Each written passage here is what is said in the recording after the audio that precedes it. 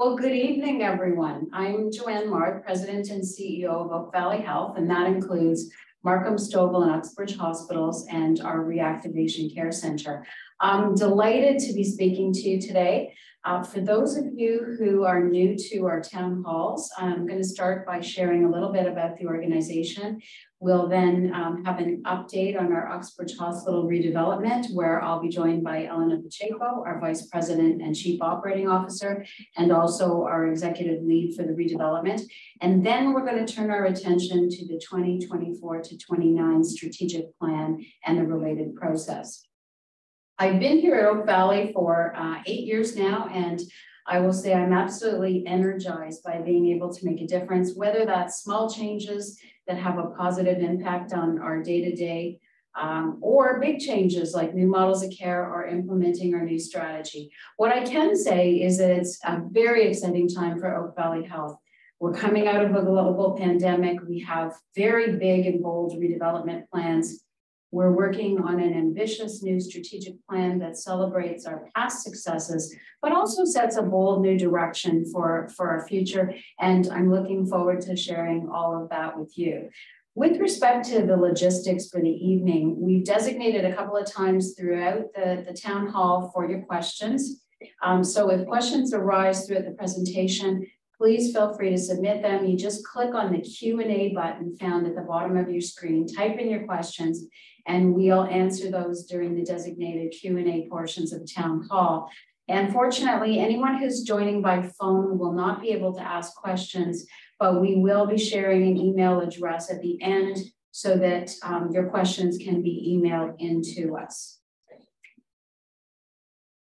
At this time, um, I'd like to conduct an Indigenous land acknowledgement. Oak Valley Health honors the traditional territory of the closest Indigenous communities, the Chippewas of Georgina Island and the Mississaugas of Scugog Island. The Haudenosaunee and the Anishinaabe have lived, worked, and existed on this land from time immemorial. This land is covered by Treaty 13 signed with the Mississaugas of the Credit and the Williams Treaty signed with many Mississauga and Chippewa bands. We acknowledge that Indigenous peoples were not asked to share their territory with settler populations and that we're all here as uninvited guests. We acknowledge and thank all generations of Indigenous peoples across Turtle Island for their commitment, contributions, and protection of the land and its resources.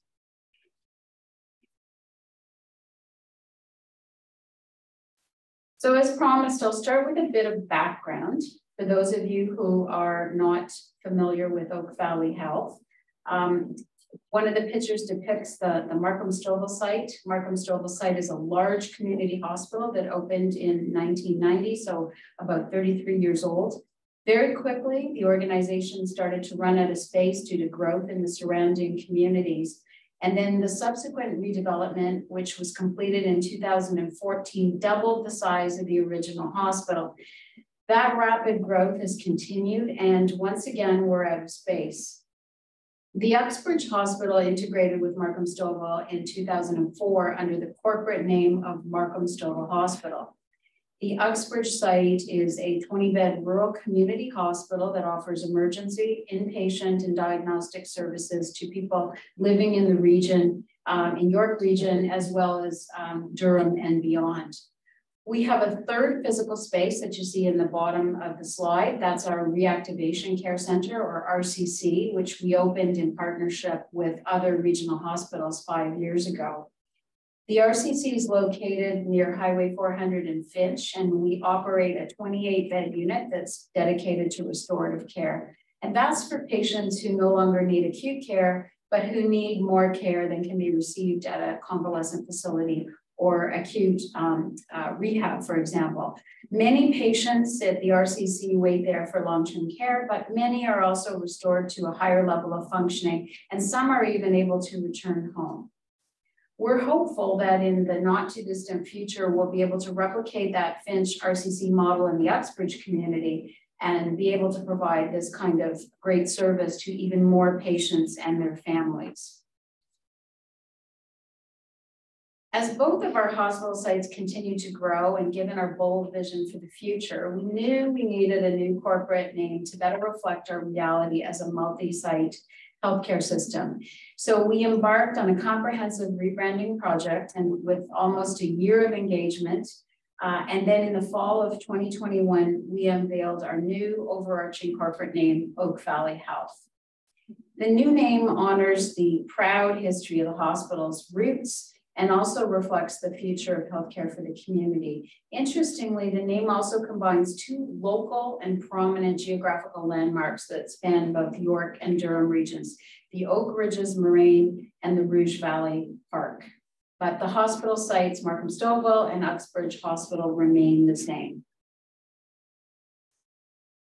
This is a slide of our catchment, which you see in the, uh, the pink area outlined. It's quite large our primary and secondary catchment area, all the way north to the south shore, of Lake Simcoe, south into Scarborough, um, over to Vaughan in the west, and um, Oshawa to the east.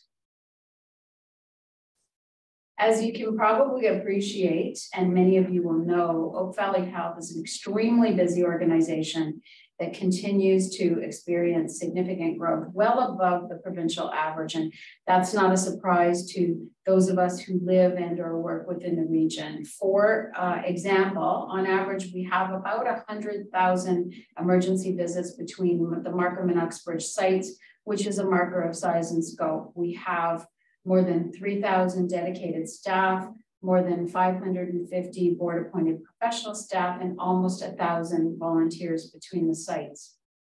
We offer a full range of clinical programs and services that includes acute medicine and surgery, emergency, mental health, and childbirth and children's services. And these programs are supported by a very efficient group of clinical support services that include diagnostic imaging center, laboratories, and pharmacy. And in addition, we have many corporate support services and departments that keep the organization as well as our buildings operational. Everything we do is grounded in our current mission and our unique honor to care culture. And we're driven by our vision to be a healthcare organization that provides care beyond our walls.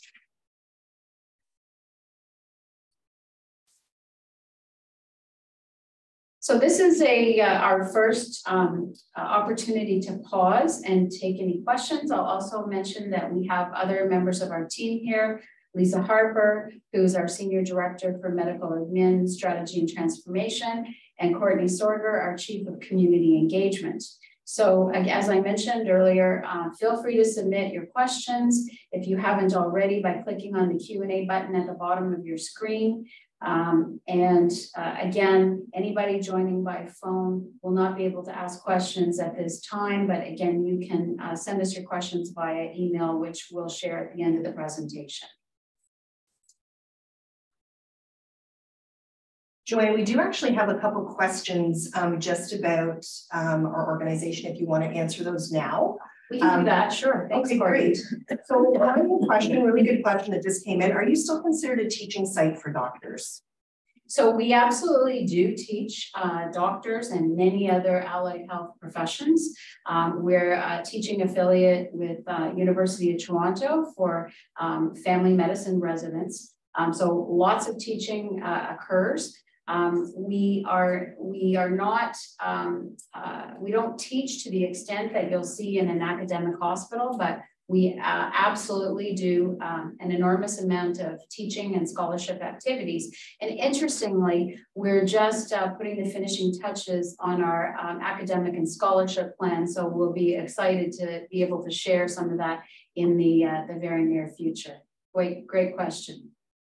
And another good one, Jo-anne, just in terms of um, the land around us being developed. I know we've had a lot of conversations about that, and we'll address some of that during the Uxbridge um, redevelopment because that will be addressing some of the issues we're also facing here at Markham. But how are hospitals going to be able to keep up with the needs as we see that growth? So um, we're very fortunate that we do have uh, land assets and you're absolutely correct that we have a significant amount of growth, as I mentioned, well above the provincial um, average. So we have a building project, which you'll hear about momentarily at the Uxbridge site. That will help to relieve a lot of the pressures uh, at the Markham site. And we are actually getting ready and have already uh, submitted um, an early plan to start a redevelopment of the, the Markham campus. So lots of uh, lots of plans um, in the works, and we absolutely need, need it because at both campuses we're, we're out of beds. Great, and we'll get a chance to talk more about that later in the presentation. So those are the, oh, one more. Um, I think we'll save that one for later as well during the strategy maybe, but Jo-anne, uh, we can move along to the next section. Okay, thanks, Courtney. So um, that brings us to our future, and that's um, a really nice segue from the questions. Uh, that brings us to the planning we're undertaking for our future to, to meet those growing needs of the communities we care for, um, and particularly with respect to the redevelopment of our Uxbridge Hospital site. And uh, to summarize this update, I want to introduce Elena Pacheco, who's our Vice President and Chief Operating Officer here at Oak Valley Health. And she's been um, instrumental in getting us to this significant milestone in the re redevelopment of the Uxbridge site. So over to Elena. Thank you, Jo-anne. Good evening. I want to begin the update on our Uxbridge redevelopment with a patient story illustrating how this hospital provides such a vital service to the community by introducing you to baby Jack and his mom, Stephanie Barker. His family faced their worst nightmare when at just two weeks old, baby Jack suddenly fell seriously ill but thanks to the team at Uxbridge Hospital, the nightmare eventually turned into her greatest miracle. One evening after his two week appointment, Jack began acting fussy and developed a weak cry and became limp in his mother's arms. In a panic, they immediately called an ambulance. Jack was rushed to the nearest emergency department at Uxbridge Hospital, where the team jumped right in from the get go, and Jack's mother shared their experience. In her own words, she said, the team was all hands on deck, working tirelessly to care for Jack while keeping in close communication with my husband and I about what was going on during a most stressful night. We felt he was in good hands. I think we can all appreciate how scary this health crisis was for Stephanie and her family. Once resuscitated, Jack was found to be suffering from cardiogenic shock, preventing much needed oxygen from reaching his vital organs. But the team worked to stabilize him until he could be transferred to Toronto's Sick Kids Hospital. Today, he's healthy. And again, in his own mother's words, it's simple. Uxbridge Hospital helped save my son's life. It's a small but mighty, and I'm relieved that these doctors and nurses had the expertise, compassion, and tools needed for Jack. In an emergency like ours, you aren't looking for the biggest hospital. You're looking for the one you can trust to take care of your family. And that's what this hospital will always be to us. So in April 2022, we received government approval for the new hospital to be built on existing land, and they have now approved the functional program submission for the Uxbridge Hospital. We are working with an evaluation team to secure a design architect and develop a plan for the new facility. The next stage after design will be a tender for construction. Once complete, it'll be a brand new state-of-the-art building where patients will receive the highest quality of care and an extraordinary patient experience. The vision for Uxbridge campus is moving to a community health hub. This includes acute, ambulatory, and emergency services, as well on the campus, a long-term care and primary care services. Last year, we celebrated another important milestone for the organization and the folks living in Uxbridge and Durham region. In partnership with Uxbridge Health Center's physician group and Oak Valley Health, we opened the Oak Tree Medical Center, and this was also the first phase of the redevelopment at the Uxbridge site. Having an ambulatory building in close proximity to the hospital allows the physicians to work in the family practice as well as in the, in, in the emergency department and the inpatient units at the hospital to practice more seamlessly, train, and collaborate with one another. Both York region and Durham region population will almost double in size by 2051 and in Durham, the 85 plus age group is projected to nearly double from 2021 to 2031. To help meet this growing need, the long-term care bill circled here in the map is another important component of our vision. And again, it's important to note that this portion of the build will be fully funded by the LTC operator that holds the licenses for those beds. I'm sure we can all agree that additional LTC beds are a much needed resource for the community and that the campus approach with an LTC on site will further support an integrated approach to care. The new facility will take advantage of cost and service efficiencies by sharing services such as loading docks and food services with the long-term care home. And in partnership with the LTC home, we are planning a post-acute unit to help build additional acute capacity across the region, including our Markham site, and really address some of the um, acute acuity here at the Markham site. With the view to the future, the rebuild will support modern care procedures and technology, including advanced infection control. Planning will ensure continuous service during construction and transition of the new hospital opening and the old one closing. The new facility will also take advantage of cost efficiencies by sharing services such as loading docks and food services with the LTC. As a result of these design efficiencies, the hospital will gain a great deal in terms of both size and features. The rebuild will support modernized care using state-of-the-art technologies, as well as advanced infection control standards a wide range of labs and diagnostic services, including x-ray, ultrasound, CT, and hopefully MRI will be available to hospital patients and the residents at the connected LTC home. The new hospital will have greater diagnostic and laboratory capacity. A new cardiorespiratory clinic will include services such as a virtual cardiologist consultation. And in the addition of stress and pulmonary function testing capabilities, the cardiorespiratory clinic will support Durham residents for the early identification and intervention for heart disease. Now, government funds up to 90% of construction costs for hospital facilities, but hospitals and their communities are responsible for the remaining 10% of construction costs, plus 100% of the equipment, furnishing, and fixtures. That includes costly diagnostic equipment that would support these enhanced services. Building a new hospital in Uxbridge requires a tremendous collaborative effort between the province, the hospital, and its community. And look forward to sharing more in the not so distant future on the launch of a campaign in support of our new hospital. And keeping our community informed and engaged through the de design and build is a top priority. So forums like this, as well as updates on our website and newsletter, the link will continue. So I'm going to pause there and ask if there's any questions, please feel free to submit them um, and we will be answering them. Okay, great. Elena, uh, it's Courtney, and we do have a question from Michael Kerr. Um, good question here. In the Uxbridge redevelopment, will it include advanced imaging and air ambulance? So I know you get that air ambulance question quite a bit. So yes, I'm, I'm pleased to say that the helipad will continue to exist at the Uxbridge Hospital. We will probably be the only hospital in the province with two sites and two helipads, so yay.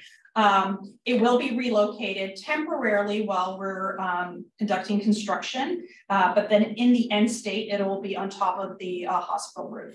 In terms of advanced, it was advanced diagnostics, was that? Yeah, yeah, just yeah. what other advanced items? Yeah, so again, as, as, mentioned in my presentation, we're really hoping that we can land um, MRI, but all of the uh, current diagnostics will be advanced within the new hospital. So that's CT, X-ray, um, and looking at uh, cardiorest as well.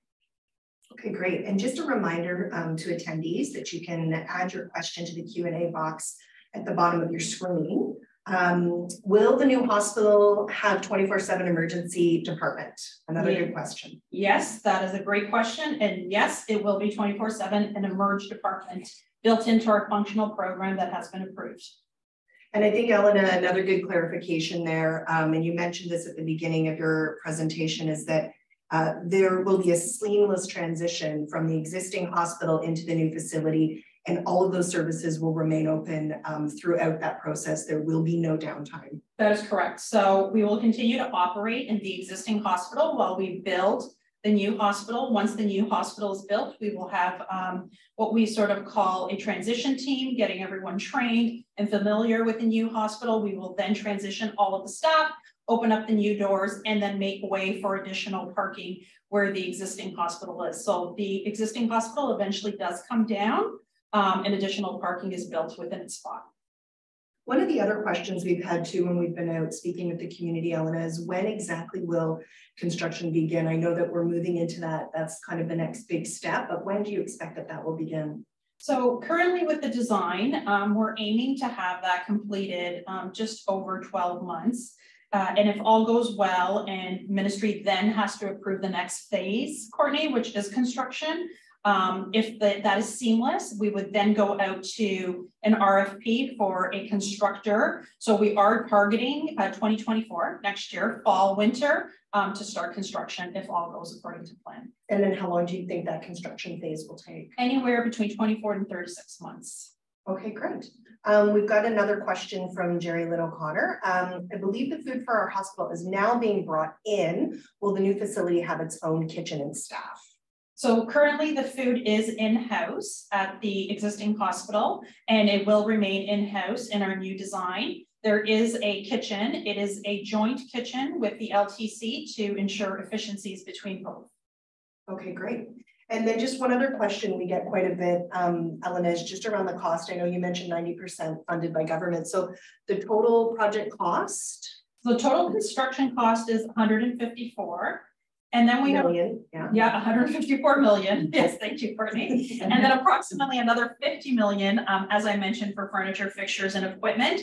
That 50 million is really what's funded by the hospital and raised by the community. So that would be what we consider our portion uh, for fundraising. Right, and that's separate from the long-term care um, because that cover will be cost by the operator? Correct. All of the LTC will be built by the operator. Okay, great. Um, okay, so those are all the questions that we have for the Uxbridge redevelopment. Now, that doesn't mean you can't ask more questions on that as we move through this evening, um, but I'll turn it back over to Jo-anne. Thanks, Courtney, and uh, terrific questions. So thank you, uh, everybody, for your interest. Very exciting times for the community, for the organization. We're uh, super excited about um, all of this and what we're going to be able to do to support our communities. Um, so we're going to turn now our attention to our um, strategic planning process, and, and that will take us from 2024 to 2029. And this is where we'll also have some engagement.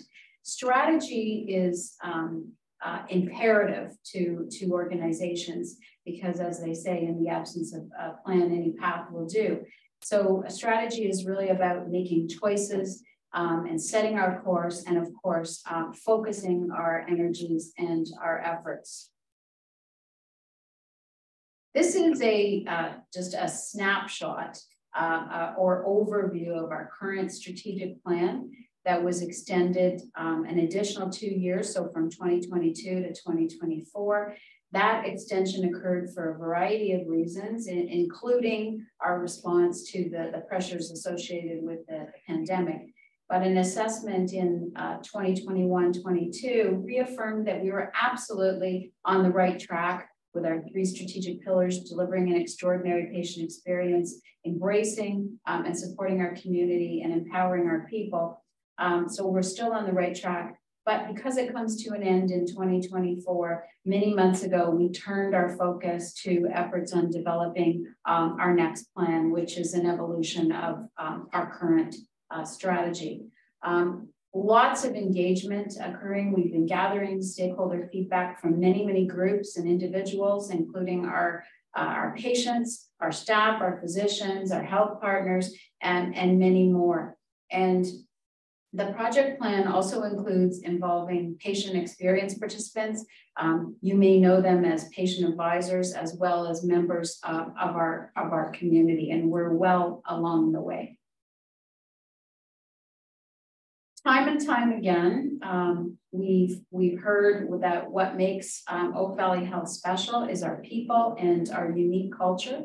And so prioritizing the people that make our honor to care culture special has never been more important and will absolutely be instrumental to our success. So that's uh, definitely one of our priority areas and that's come um, through our engagement process to date. Uh, next, one of our greatest strengths is our ability to partner well with all kinds of stakeholders in order to meet the needs of patients and the communities we serve. So prioritizing partnerships is going to be absolutely essential for successful integration, which we know is critical to our future success as a healthcare organization.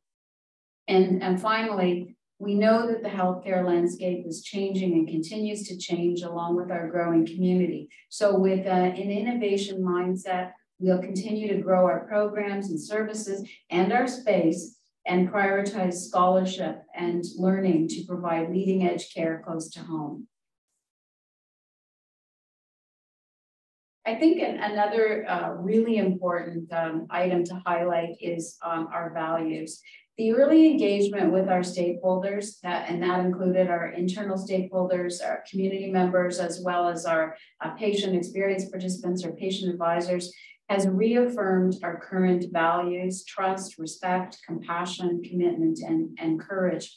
These are the values that we live and we breathe every day. And we've taken value feedback from our stakeholders to help us enhance the definitions of our values that are attributed to each to help make them even more meaningful. And of course, the values are so important because they're foundational to our strategy, our code of behavior, and many, many more uh, initiatives throughout the, the organization. And of course, are embedded in absolutely everything we do. So we're really delighted that they resonated um, uh, so well and persist.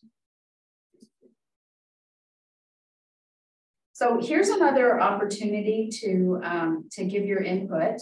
And uh, we do have some specific uh, questions for you, but before we get to that, um, uh, I'll just pause again for questions. And again, if you have questions, you can click on the Q&A button. Everyone's uh, doing that really well so far. That's at the bottom of your screen. Type in your questions. Okay, great. We do have another question. I think we'll shift focus maybe back to Uxbridge. Um, and then as Jo-anne mentioned, um, you can add it in the Q&A box below, and then we will be moving into um, some more um, opportunity for input on our strategic plan. But for now, um, Elena, we've got a question from Jerry Lynn O'Connor again. Um, uh, am I correct stating that we will need to raise 50 million for equipment plus the 10% of the structure build, which would be another 15.4 million, or is that 10% included in the 50 million? Um, and then there's a second part to that just around, will any money be coming from Markham or is the fundraising solely Uxbridge? So I'll answer the uh, first question. Uh, yes, it's the 50 million is our contribution, which is the 10% plus FF&E. So that makes up the 50 million. In terms of will the money be coming from Markham, uh, the Markham does have a hospital foundation and Uxbridge also has a hospital foundation. Uh, the Uxbridge Hospital Foundation and other revenues or streams of revenues will be contributing to our portion. So it's not only solely the Uxbridge Foundation um, responsibility.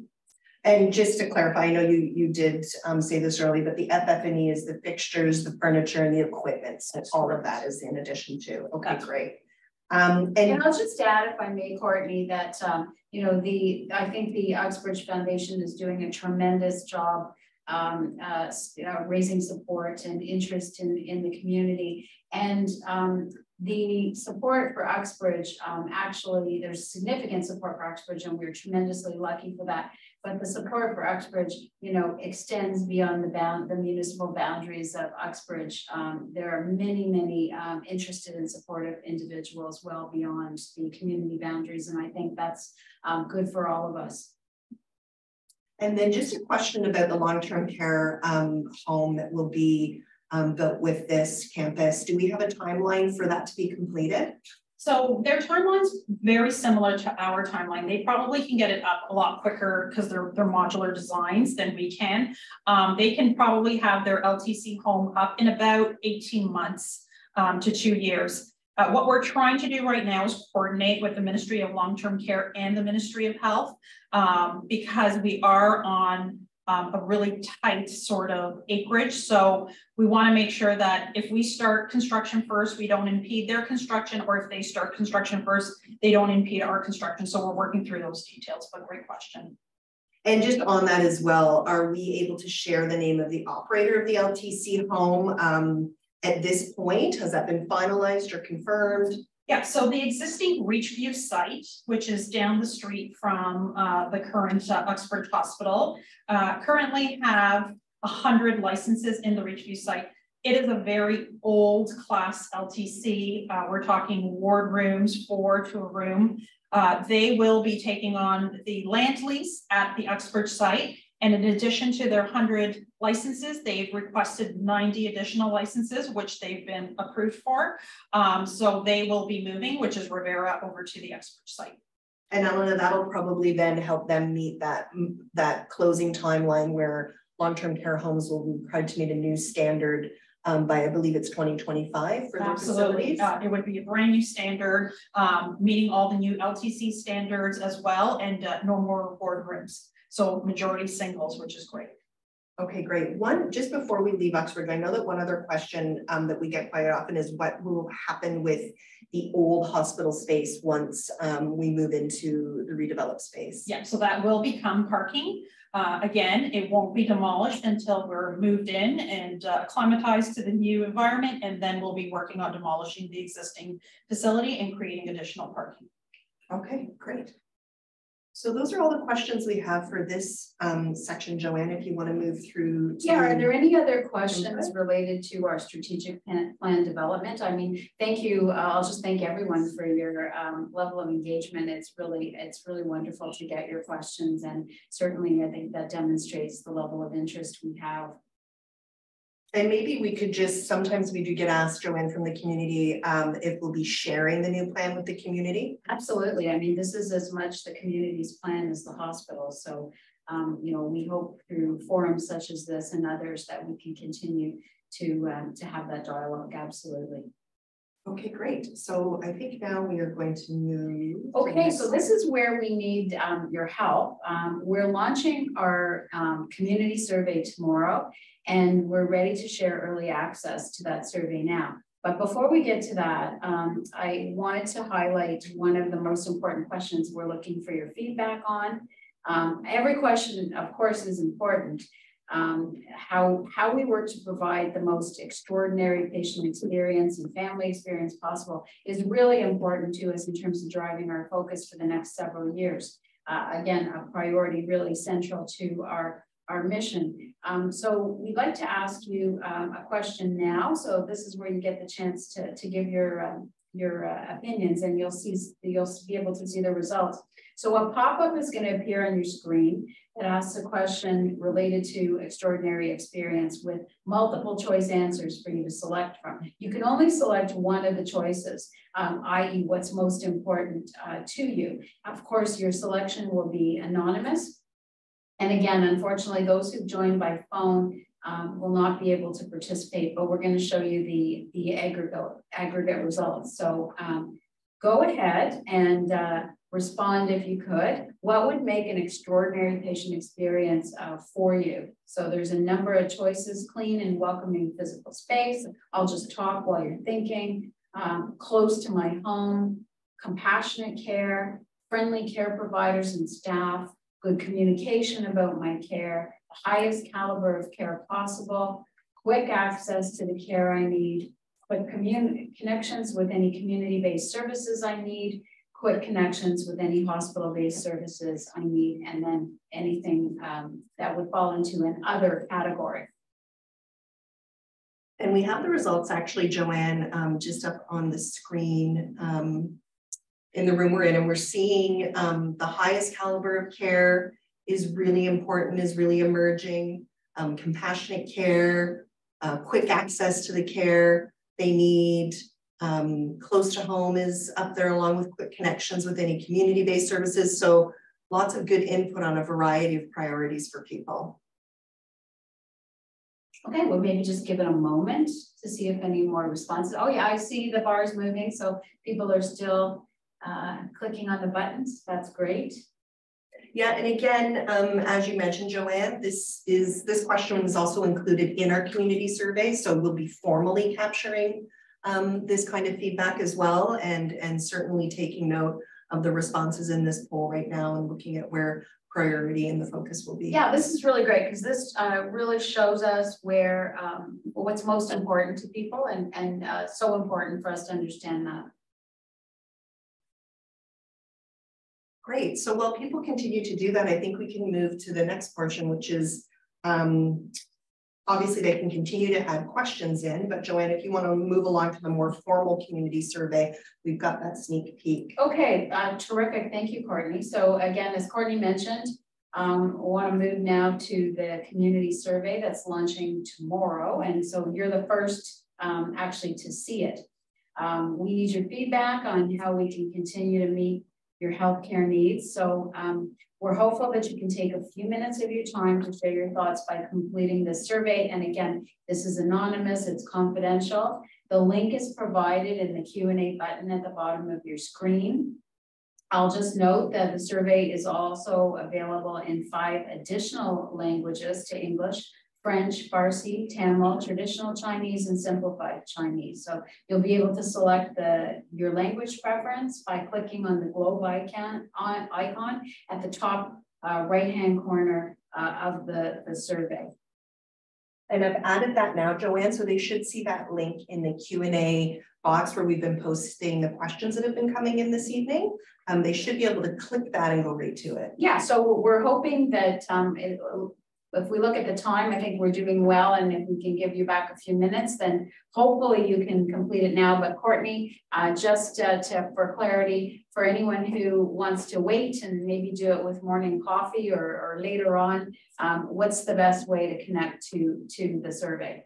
So we'll actually be sending a follow-up email tomorrow to everyone who has registered um, for this town hall. Even if they were unable to join us, they're going to get a direct email um, with the survey with instructions on how to complete it and the link right there. So don't worry um, if you don't have a chance right now. Um, so that will come to you uh, tomorrow and it's all online. We will also have this on our external website um, and promoting it there. And you'll probably also come across it on social media. And we're working with a lot of our community partners, um, both healthcare partners and community services to also share this um, more broadly with groups throughout our communities. Um, so they will get it there, Jo-anne. We're also going to share at the very end um, of the session, once we finish with some more Q&As, uh, we're going to share an email where they can send us any additional questions or information they have. We'll have that up at the end as well. Um, I'll maybe jump to that now, Jo-anne, because we have another question um, that's come in, a little bit different um, from some of the ones we've answered around redeveloping that, but I think that this kind of does speak to some of our work around our strategy. Um, so we've got a question about the landscape of healthcare is changing as hospitals globally face nursing shortages. What are our plans to recruit and maintain nurses? Oh, great question. And what I can tell you is that we recently launched um, a whole people plan that was um, based on uh, many months of engagement where we asked uh, our people what was most Im important uh, to them. And one of the things that we know is while we have to continue to recruit and we have to identify, you know, the value proposition, so to speak, for people, that, you know, we're not going to recruit our way uh, out of the, the staffing shortages that will be perpetual and certainly is uh, exists well beyond uh, this organization from a nursing perspective, and I think that there are things that, um, you know, no matter what discipline or area you, you work in, will be relevant, such as, um, you know, health and wellness and uh, continuing education. The, the issues for nursing are uh, specific as they are for, for um, you know, a number of, of the disciplines. Um, we are um, working really hard and government has been incredibly supportive with the, the new grad guarantee and uh, the use of um, clinical externs so that we can bring um, lots and lots of organizations before or individuals before they're finished their training programs into the organization, expose them to our culture, you know, our way of doing things. I think what makes the organization unique. And so far, we have been able to um, retain, um, the, by and large, the vast majority of those um, who've come in. Supporting um, new graduates, um, particularly in their early weeks and months of training is, is really important to making people feel uh, comfortable and safe, not just emotionally, but physically um, and uh, competent in, in every way possible. So that's been very successful and that will absolutely continue. We're working really hard at looking at opportunities to create um, as much flexibility as possible. Um, uh, for example, the ability to work in multiple areas, the ability to work um, flexible in different um, shifts, um, in ways that have not been uh, possible prior. Uh, we have um, engaged uh, a concept of skills facilitators to keep um, nurses, for example, who may have otherwise retired or we might, uh, or were thinking of retiring, we have been able to um, entice them to stay, share their expertise, and um, some of our newer graduates have said that it's just been a tremendous support. And without that level of support, you know, as they culture and develop and uh, make their way um, it, it would be um, really difficult and they would have found it uh, difficult to stay. So these are just, you know, some of the things that uh, we're doing. As I mentioned, and I'm going to ask Elena to comment because she's uh, provided a lead on our people plan. We're really trying to create a value proposition where, um, you know, we provide an environment that is unique. We already know that um, our culture is particularly unique um, and uh, super friendly. And so we believe that once we can encourage people to come to us, that they will in fact uh, want to stay because we'll continue to find ways to mentor and support and um, you know allow other opportunities for for growth and advancement. Yeah, and I'm wondering if Elena, wants to, to, to add, add to that, Jo-anne. I think also internationally trained students, um, definitely an opportunity there. And yes, the question was asking if we're inviting them. Yes, we are. Um, and the other thing that we've talked a, a lot about in our people plan are, are, models of care. So it's really important because uh, nurses are a scarce resource. We really want to ensure that we're utilizing all of their skill set um, and we're looking at how do we support nurses with other models. So does that mean um, additional PSWs? We've launched a support services attendant. So they're for example, stocking versus a nurse stocking. So really looking at what tasks that are really non-nursing can be removed from the role and utilizing their skill set. Yeah, and just to add, thanks, Elena. I mean, that, that's super important. One of the things we heard through our engagement is um, that, you know, workload was a significant concern. And so I think these model changes and other supports will truly make a difference in how the work is experienced. We know people want to, you know, do their very best. They want to make a contribution. They want to feel that what they're doing is valuable, but they don't want to feel overwhelmed and overloaded. And we really believe that the multitude of changes that we're making will truly um, you know, enable nurses in particular, but not just nurses, to be able to um, come and practice and do what they were trained to do and feel supported by the team around them. Yeah, and thank you, Elena, for touching on the internationally um, trained, because that was actually a second part of that question. Would we be participating in those initiatives? Um, and as we wait for maybe uh, any more questions, we're opening it up, certainly anything and everything um, that you have questions about. Uh, we have some time still before we, we send you off to hopefully work on the survey, but I did have a question just around the logistics for the survey. So again, um, I've posted the survey link, the direct link to um, the online survey in the Q&A box. So if you open up where you've um, typed in some questions, you should see uh, a previous um, a previous post with a link there. Um, and that should take you, you should be able to just click right on that. Um, if it's not working, you might be able to just copy it and then paste it into your internet browser, um, but that should take you there. If you're having any trouble, please um, don't worry, we are going to be emailing everybody who's joined us this evening and um, signed up for the town hall, a direct um, email with uh, all of the instructions and a link as well. So you'll be getting it um, tomorrow, but love to see that people are anxious to start doing that because we are having a little sneak peek of it tonight before it gets launched formally tomorrow. Um, so I don't see any other questions coming in.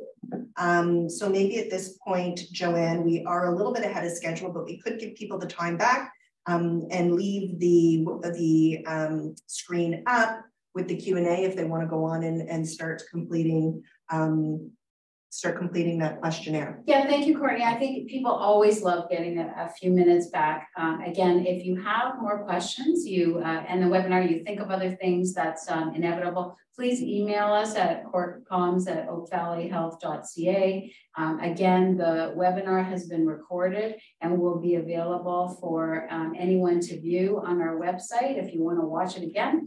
Um, I'll just conclude by saying this is a really exciting time for our organization um, and for the communities we, we serve and we care for. So, um, you know, on behalf of all of us, we want to thank you for joining us this evening. We really appreciate your time, really appreciate your questions and your engagement um, in this process. Um, so thank you so much and um, keep your questions coming. We love to, we love to hear from you.